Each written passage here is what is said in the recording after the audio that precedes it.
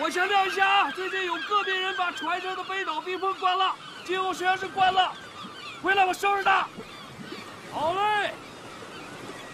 三叔，知道了。拉往青滨的航道里，汤某一定注意大船。二哥，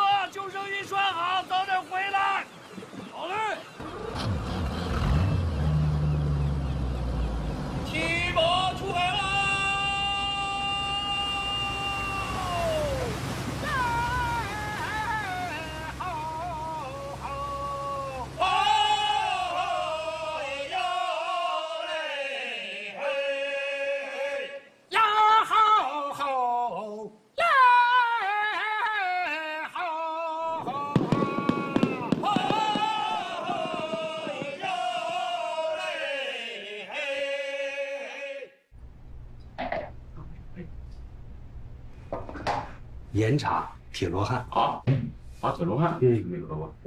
入口啊，刚烈直接，嗯，喝进去之后又苦又烈，但你喝完之后呢，立马回甘，无穷啊！你这是说的是茶呀，还是说的是人呢？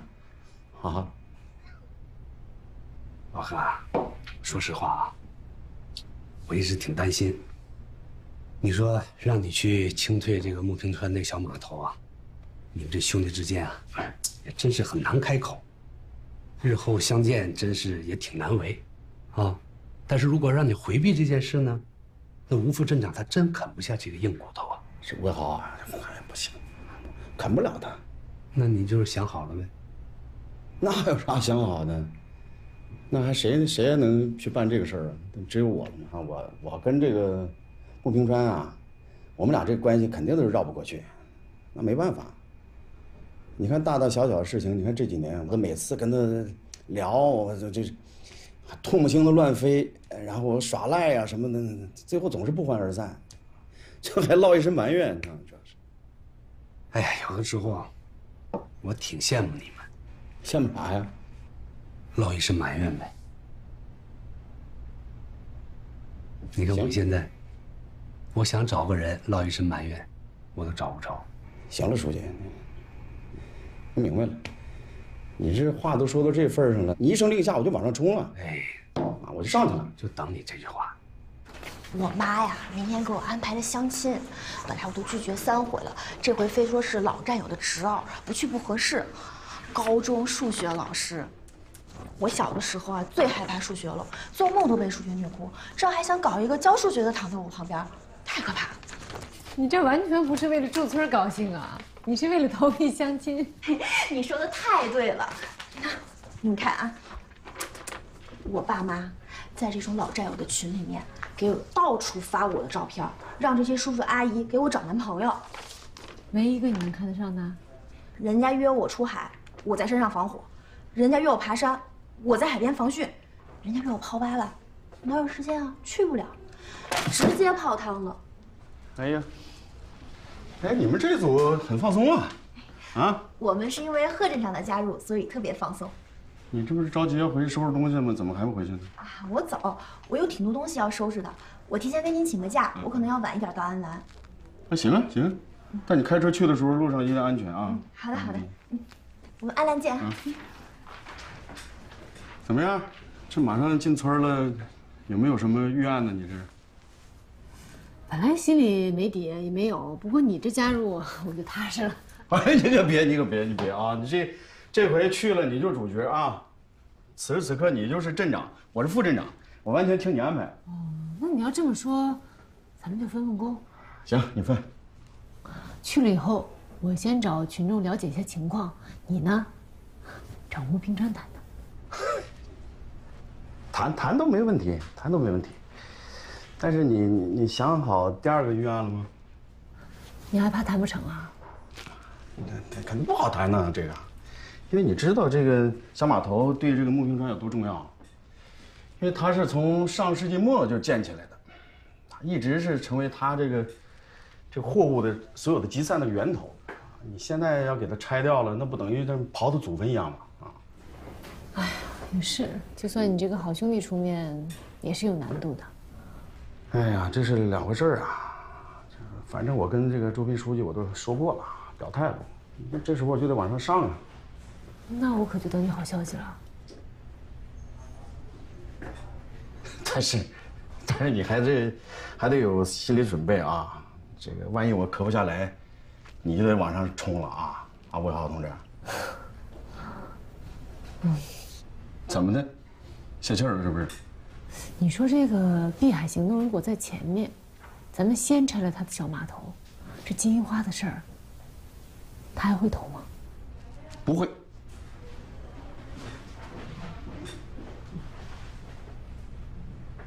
你这下村工作非得住宿舍呀？对，要求住宿舍的。你这又得吃食堂，它也没营养啊！就你这小体格，哎，不行，你跟我回家得了。我每天给你做点好吃的、热乎的，行不行？不用，住宿舍挺好的，还有食堂吃。我这是来工作，又不是度假的，你别给我操心。你说你，哎。我听大伙儿都在议论，说你们怎么要拆那个养殖池子，还要把那码头也拆了。那你是高兴还是不高兴啊？我是又高兴又不高兴。哎呀，为什么呢？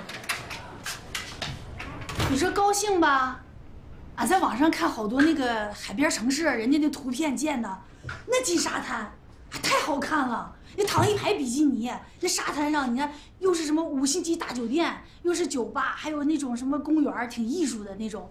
你说那那以后谁还上上国外玩去？那不都得跑俺们这村来玩了，是不是？哼！你再你再看俺们村现在，到处都是那养殖池子，哎呀，那苍蝇飞的那个味儿啊！还你别说，还出去溜达，天黑以后谁敢出去溜达？一出去你不小心你都得掉那池子里。哼！我跟你说。俺家后院那个二柱子，前两天就出了门口，咕咚掉池里就摔骨折了。哎呀，我给你倒杯水，我给你倒杯水，我给你倒杯水。哎呀，哎，不好意思，不好意思。没事没事，我自己来。不好意思啊。哎，你看我这人，哎呀，哎呀，你说要不高兴的吧？其实大伙儿都是替穆书记担心。你说他都没肉吃了，俺们这些村民上哪喝汤去？那就是说，其实最不高兴的是穆书记。那可不是，你想想，这么多年了，大伙打上来的鱼呀、海货啊，人家穆书记全都给你收走了。你这个冷库园和小码头一拆，以后穆书记他上哪去收鱼去，对吧？然后你说给这个船加水呀、加油啊，这些好多业务就全都没了，大伙不都失业了吗？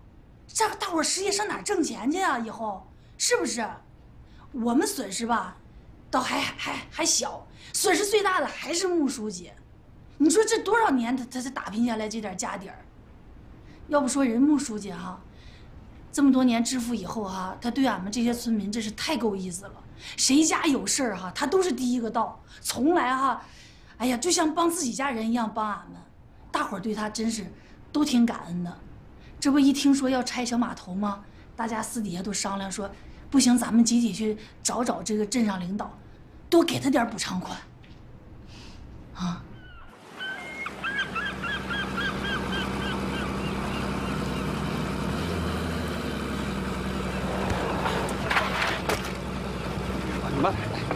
哎呦，哎，今天总的这个，觉得是什么？还行，不肥呀。啊，还行，这鸡瓦的扣这些。你看这蟹子现在都不行，近海这蟹子都。都都不行，我跟你说，丰收，你这个撒网的手艺一点都没丢啊！我以为你做证监办公室，早忘了呢。还有这个捆螃蟹的手艺还那么利落啊！你说啥呢？渔民的儿子，那能忘本吗？对吧？哎呀，我虽然生在平湖，但是对海边的生活很多都不太了解。这小码头拆了。是不是对你很有影响啊？哎呀，你别担心，国家会给补偿款的。我不受影响，其实我还挺高兴的。俺家老黄不在了，儿子上大学也打算留在城里，不回来了。你是家里那个男人，就算是不请你们海参吃，我都忙不过来呢。哎，现在国家统一请你了。还能领到一笔补偿款，挺好的。我比上不足，比下有余的，我已经很满足了。听你这么说，我就放心了。好日子还在后头呢。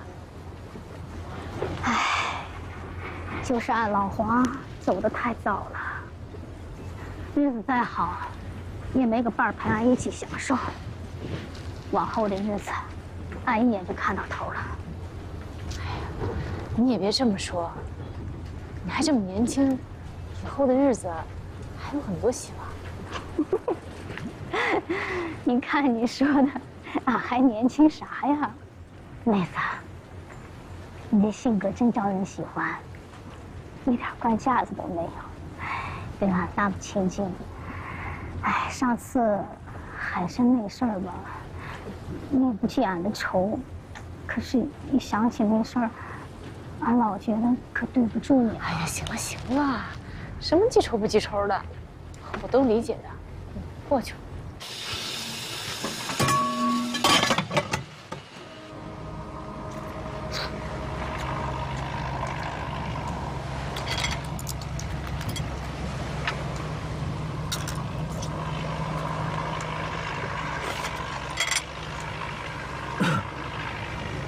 就说啊，别掖着。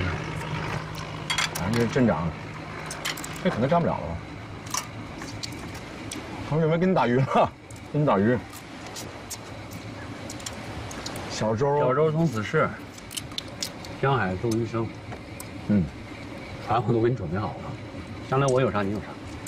来，不光你，还有咱们家何征，将来考大学呀、娶妻生子啊，我管到底儿。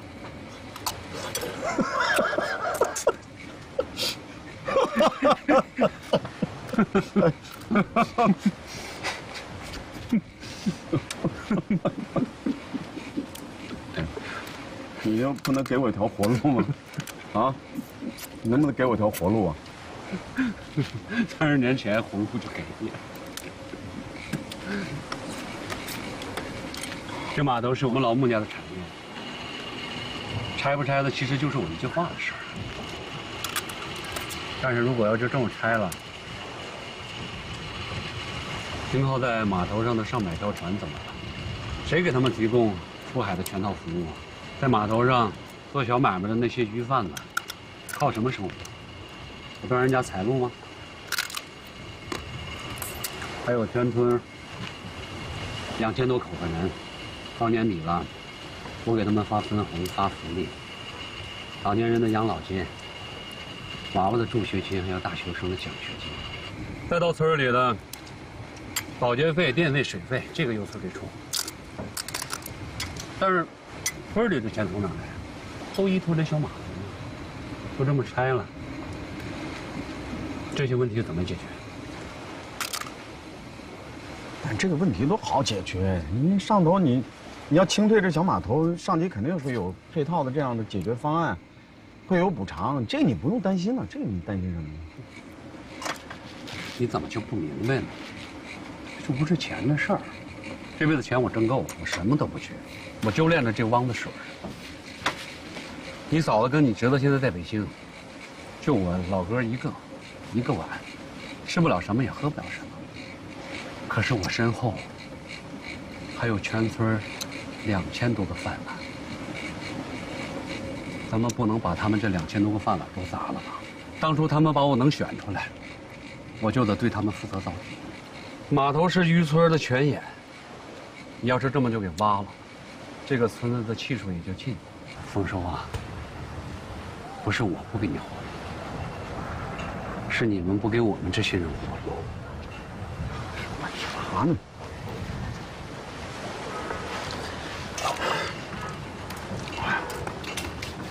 这码头不能拆。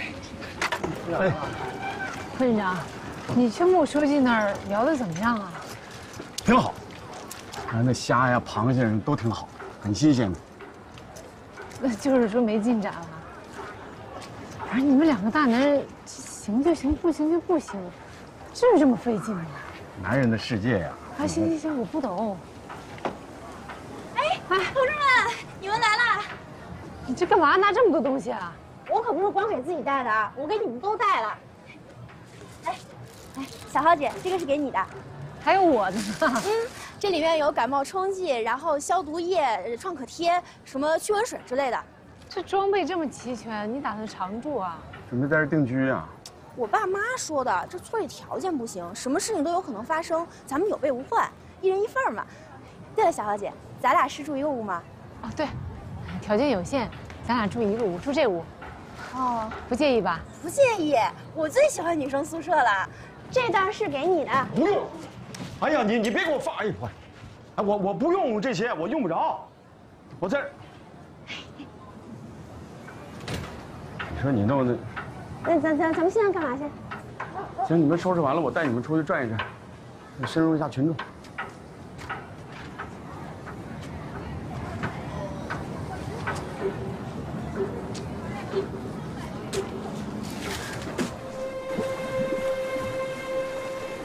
平川不同意拆除这小码头啊，我一点都不意外。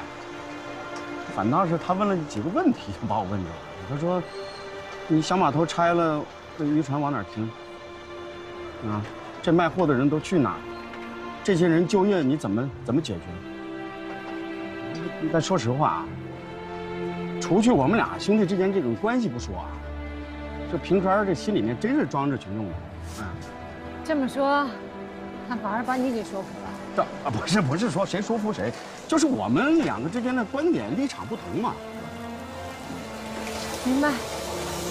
顾书记呢，确实为老百姓做了挺多事儿。是，他作为这个村的带头人，啊，这是，呃，很仗义，呃能干事是干实事儿。安仁村能有今天的发展和成就，你看看这些，他真是功不可没。在你眼里，他是不是没缺点啊？缺点肯定有，能没缺点吗？但这个世界上十全十美的人啊，特别完美的人呐，真的很少。看我，我眼里他缺点就根本不算事儿啊。刚烤好的。你吃吧，你吃。哦，我不是，我不是，不是。我也不吃，你吃吧。这烧烤啊，就是它不像那现煮的那个，这个吃有点胆固醇感觉。哦。嗯。哎，那柯院长，你给我拍个照呗。啊，行。哎，我要发朋友圈。啊，在哪儿？啊。后头后头。屁兜，屁兜屁兜。我呢。手机帮我拿一下。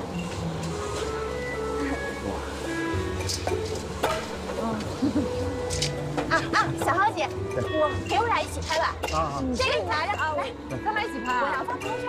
这这密码是？这个。哎。啊？这个这个。嗯。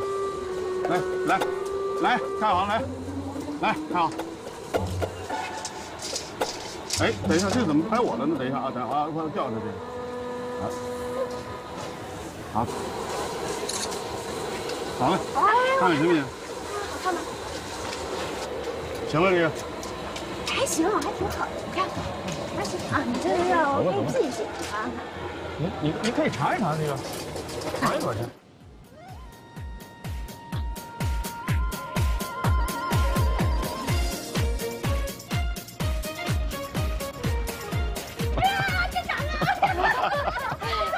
好听好挺，好听！你们跳，你们跳，你们跳，你们跳，你们跳，你们跳跳！你们好，你们好，好，你们好，你们好，你们好，你们好，你们好！挺好，不要小看啊，我们这个渔村也好，我们能把这个业余文化生活啊，晚上这生活搞得这么丰富啊，真的非常好。镇长，那个听说俺们那个木书记那小码头也要拆，那我们渔船怎么停啊？这个啊，大家一定要放心。如果啊，就没有好的这个政策，就别说是你们不同意，就我这镇长，他说没有这好的政策，我也不会同意拆这个小码头。那镇长给我们清理了那个养殖池，就算有赔偿款，我们也不能坐吃山空啊。我们拆除那个啊，那这种养殖池，就是为了从你一产、二产，然后转向三产。镇长，啥是一产、二产、三产呢？这么就是说，你啊，就说你，你捕鱼，这就算一产。然后这个，你捕上的鱼，你把它做成鱼片，这就是二产。你把这鱼片你得拿出去卖呀，那个就是三产，明白了吧？那那那那那大伙儿都能听懂，就以后咱不能光打鱼，咱也得卖烤鱼片啊。对了，对了，这这听懂了吧？对。但听懂了，我接着告诉你们，你你拆除这个所有的养殖池之后，你这个海岸线，你就得搞旅游开发了，就得规划了。游客来了，住宿、吃饭。这个游玩购物，他还得娱乐呀。那你说我们该干什么？那游客要吃饭呢，咱们可以开餐馆。那我们是不是就都可以当老板了？啊，对，那不只是开饭店，他住宿啊，住宿得需要酒店吗？游玩你得有景点呢，你到这山呐、水啊，你得有景点呢，是吧？你购物得有商场，你娱乐娱乐你你得有游乐场啊，像是有这样空地，或者有这 KTV 得唱歌，是不是？这么大的产业需求，你们再不知道干什么，那，那你们就真是啊，那你们就把钱给我，投我投资给我，然后我帮你们去投，哎，那也行。哎，镇长，那也不能所有人都都都去转型啊，那传统的这些行业也得有人干啊。哎，对了，你说的对了，我们拆除啊过去你这种老旧的那种啊，这个露天的养殖池，就是为了让新往那个新型的养殖方式去发展。那政府管我们吗？政府当然管你，比如说，哎，海南和大川啊，还有还有所有人啊，只要你们还是要从事渔业，还是要搞这个养殖，那我们政府就帮你们出招了。早就想把那个大池子扒了，然后好好干一场。正好啊，正好这所有人全都在啊，这个没有没来的，你们相互大家都转告一下，转告一下啊，你就有有什么哎那个，这郭沫这书记也在啊，统计一下，然后汇总一下大家的意见，有不愿意清退的啊，有就大家伙写明什么原因，啊，好嘞好嘞。汇总一下。哎，镇长，咱一起跳舞吧对呀，镇长。我我不跳，你们跳，你们跳。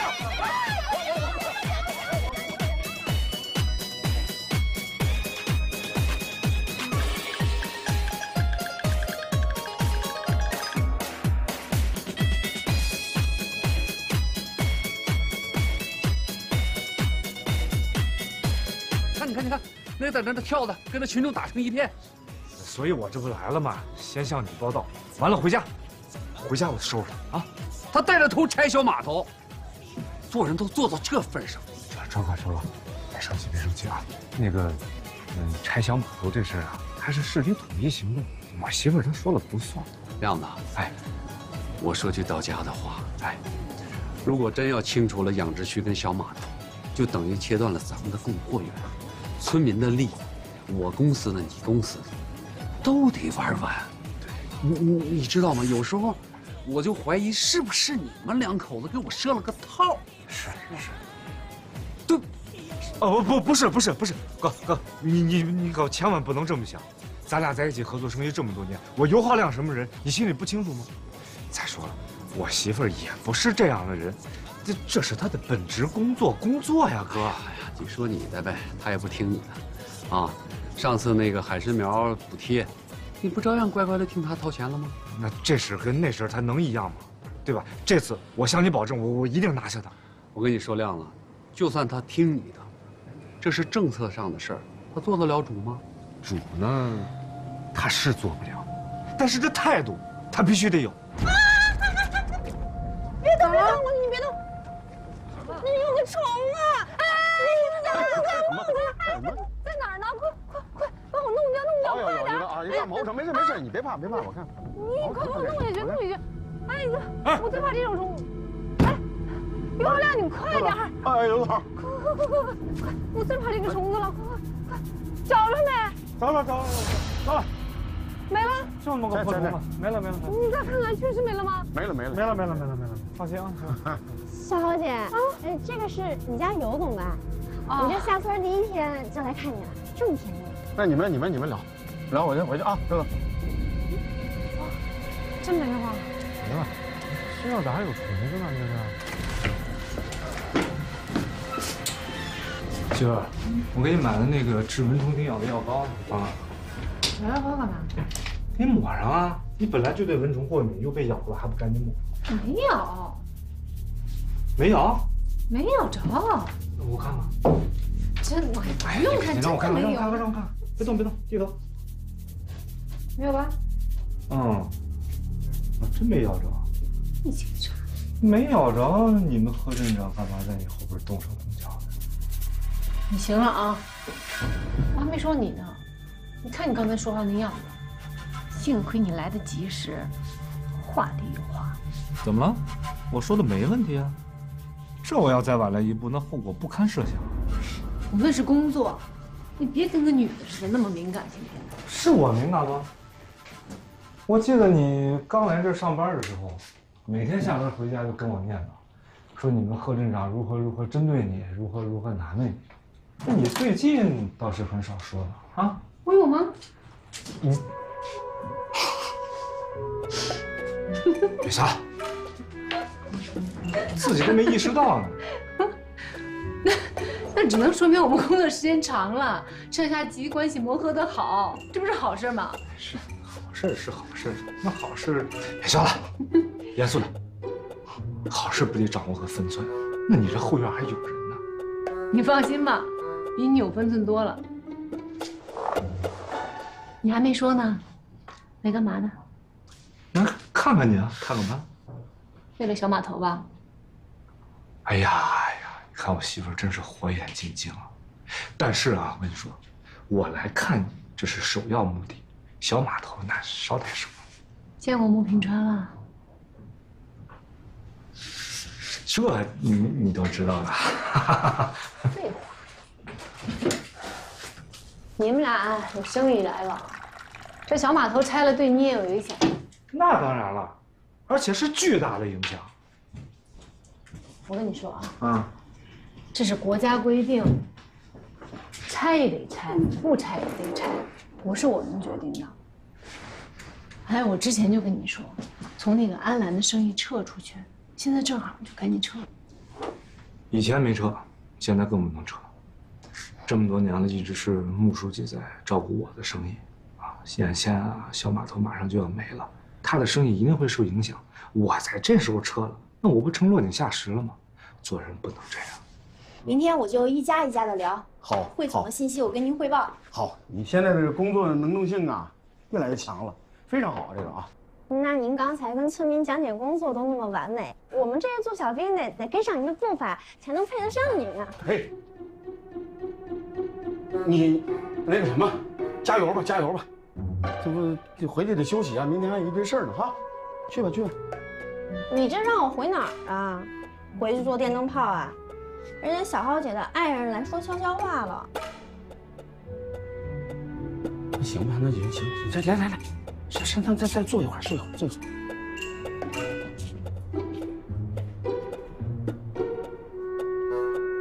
哎，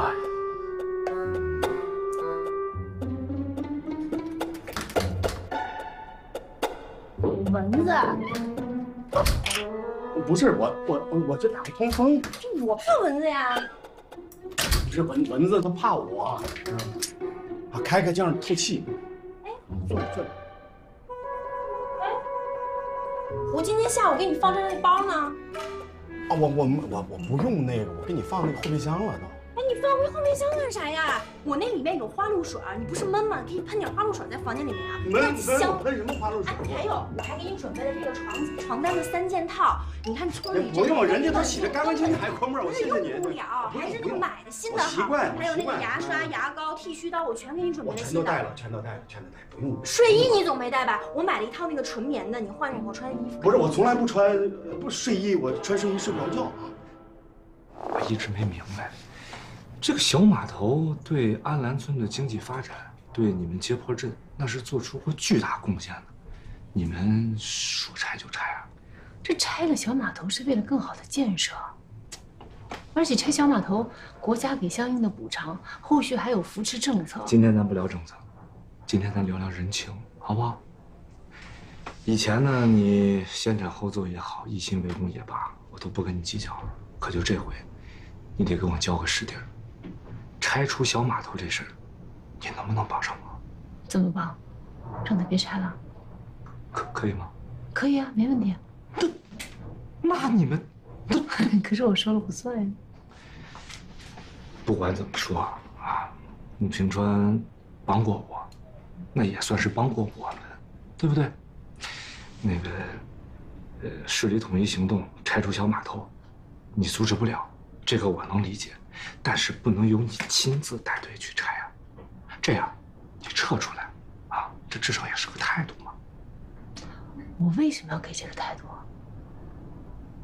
就是你说的帮过你，就是帮过我们，那我工作就没原则了。这不是原则问题，这是个人情问题。那做人就得讲感情，就得有情有义，不然，不然咱就是落井下石。这传出去以后，咱咋做人啊？刘华良，你这意识应该提高提高。我跟你说，拆小码头这是好事儿，怎么就不能做人了？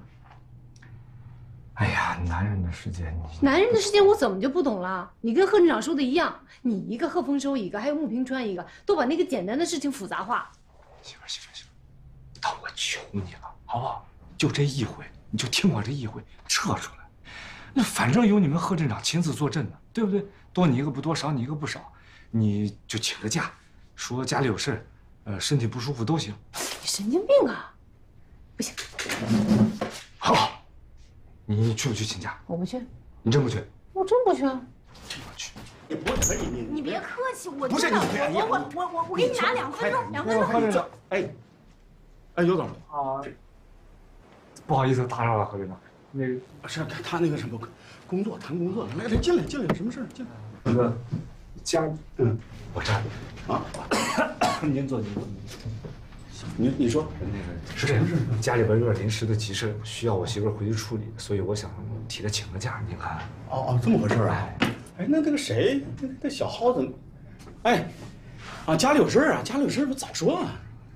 没有，镇长没事儿。你就实话告诉镇长，他他不好意思。嗯，哎呀，就是咱们虽然有工作在身呢，但是家里有事别耽误，别耽误就就就尤总来接了，就回吧回吧，没事，你放心。对呀，小芳姐，镇上的事情啊，你就交给我跟贺镇长就行啊。哎别听他瞎说，真什么事儿都没有，没事儿。那个贺镇长，哎呀，您先忙啊，真没事儿，你回吧回吧，没事，我这边真没事儿。哎，刘贺亮，你烦不烦啊？我烦不烦？你赶紧回家。我，你今天晚上不回去，以后就都别回去。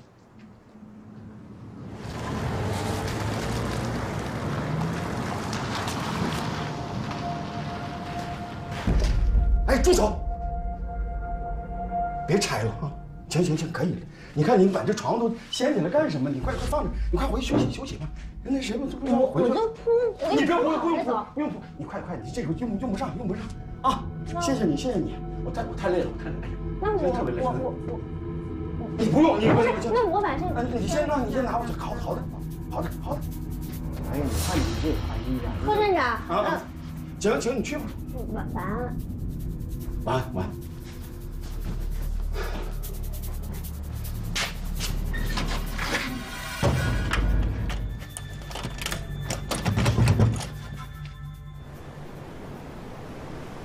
你这一个电话，我就马上赶回来。那现在推行到什么程度？现在养殖户都没问题了，都都同意就清退。这这老是追问着我说：“你你们到底能赔多少钱呢？”我说：“方案正在报批呢，我一定会为大家努力争取的。你再不出政策啊，我们的工作真的就推动不了了啊！你这就就没法弄了，你知道吗？啊，这没法交代。不过总的来说，这些还挺好，还其实出乎我意料，还都都都同意啊。哎呀，我说你们放心，这这肯定会出台一些政策啊，对你们你好好看看。哎，你这太好了，你这，你看有，你有这政策保障，你说我我还说什么？我我不用吹啊，一个星期那个养殖池我全给你清完。养殖池我不担心，嗯，我担心的还是这个小码头。是，反正这个我跟那个平川都都聊过了，还是有顾虑。他主要是考虑这个群众的利益，你两千多口的人呢，都靠码头吃饭呢，这不一下断了财路了吗？嗯。是有难度的，行。既然难度这么大，实在不行，我就亲自跑一趟。老贺啊，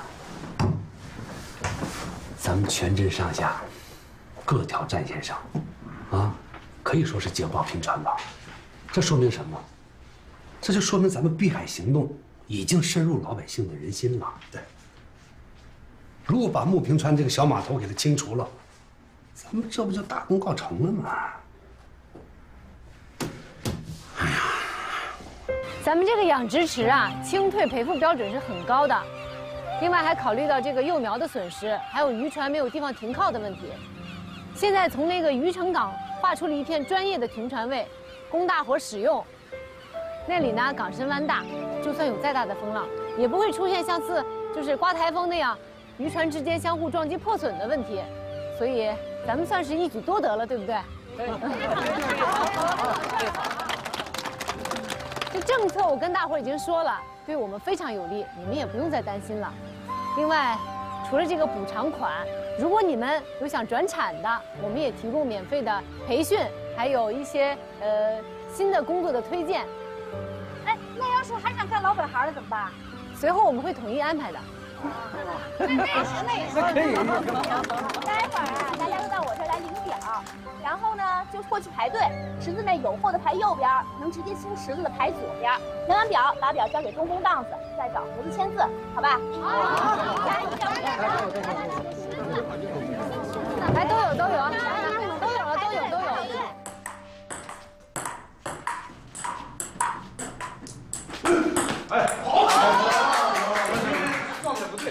你不能让着我，让着我不行啊！不行不行，行行行，笑吧，来，你们你们先来来。你这打球跟工作一样，你心思要不在这儿的话，你的状态就不对了。咱们镇长你们还不知道吗？平时打球啊，帅的耀武扬威的。帅。老哥，这个安澜小码头啊，是块硬骨头，不容易啃啊。但是咱们的工作还在继续。你说，市里、区里，对我们这个事儿要求特别严，所以呢，呃，这个日排名啊，还什么日调度，那在全区的十一个乡镇，我们现在论工作进度，那应该过报多少？啊，周书记，我们排第四，但是啊，如果小码头拆除成功，我们就是第一了，市里还有奖励呢。什么奖励啊？渔民就业补贴。那咱们应该给渔民好好争取一下。安澜这个小码头啊，你们都记着啊。你们怎么去商量，怎么去琢磨，我不管。上面定下来的事儿，必须坚决执行？什么事儿呢？下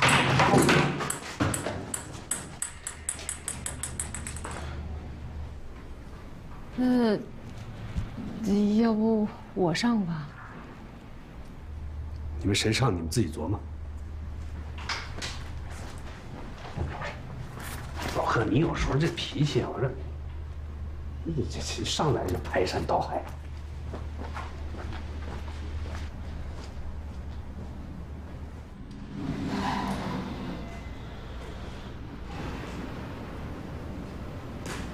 喂，你换好衣服下楼，我在地库等你。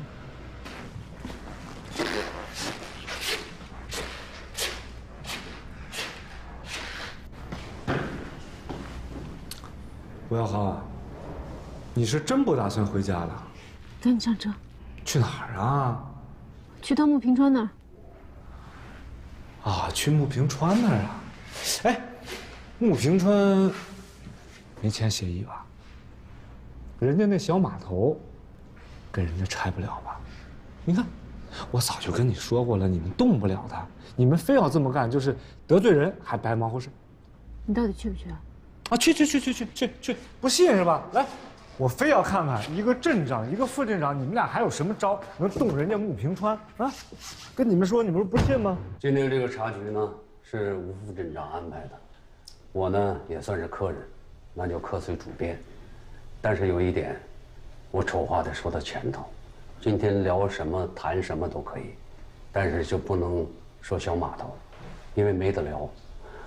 吴副镇长，你要是开这个口，对不起，在我的地盘上，那我只有赶人了。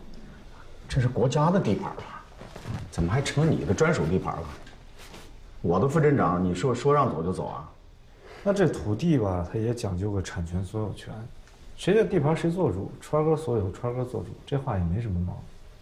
倒是贺镇长啊，你对你的吴副镇长，倒是关爱有加呀。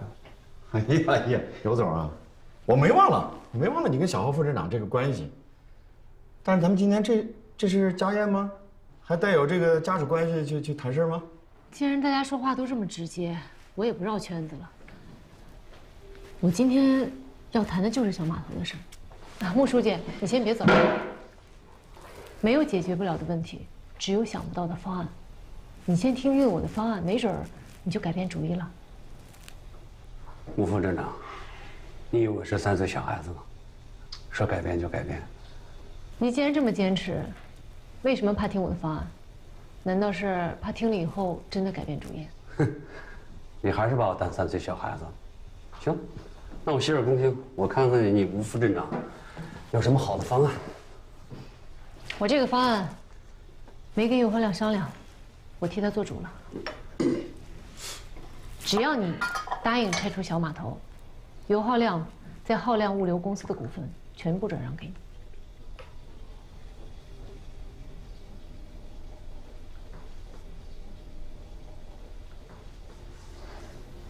我没说清楚吗？媳妇儿，我可能没太听清楚，你说的是我的公司吗？对，你的公司。那我的公司，你为什么事先不跟我商量一下呢？咱俩的事回家再谈。今天这个事儿，你同意也得同意，不同意也得同意。